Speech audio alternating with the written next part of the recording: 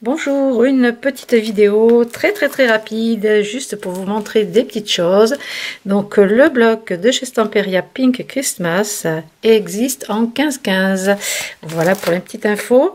Euh, j'ai reçu en nouveauté euh, des feuilles de mousse de chez Crafter Compagnon pour réaliser des fleurs. Donc elles ont une épaisseur assez fine, spécialement faite pour faire les fleurs. Vous pouvez aussi les faire chauffer avec euh, le pistolet à embossage pour leur donner une forme bien recourbée.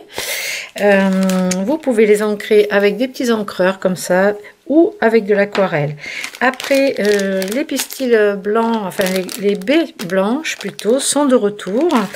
Euh, vous avez également celles-ci qui sont avec des perles couleur euh, champagne, un petit peu, euh, disons, or, pas or jaune, et rose, parfait pour le chablis.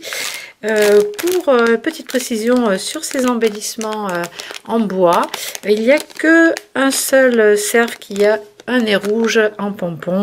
Les autres n'ont pas de nez rouge. Voilà, c'est juste pour l'info. Euh, vous avez quand même des petits cordons pour les accrocher au sapin si vous voulez les customiser avec des paillettes ou autre. Ensuite, euh, ce dies de chez Carte Déco euh, vous permet de faire des pages soit d'albums soit de la carterie. Je vous ai fait un petit essai, donc juste avec un cardstock blanc. Donc j'ai découpé, alors ça se découpe tout seul, donc les étoiles ainsi que les deux cerfs ici. La découpe crantée tout autour, ça vous fait des pages quand même d'une belle taille.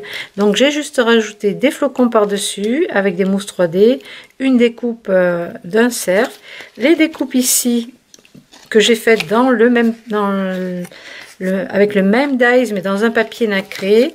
Euh, je les ai collés à l'intérieur. Et ici juste un papier de fond. Donc vous voyez là ça vous fait une petite carte. Vraiment très facile. Bon moi j'ai utilisé du papier euh, euh, cardstock blanc euh, voilà pas un papier spécialement nacré ou autre mais vous pouvez utiliser de jolis papiers. Donc ça c'est cette carte là que vous réalisez très facilement.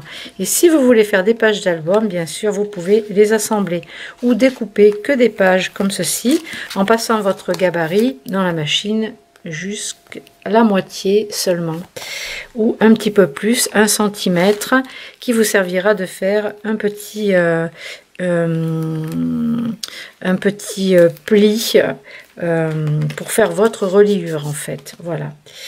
Voilà voilà. Et eh bien ça permet de faire des petites choses sympas. Et eh bien je vous dis à très très bientôt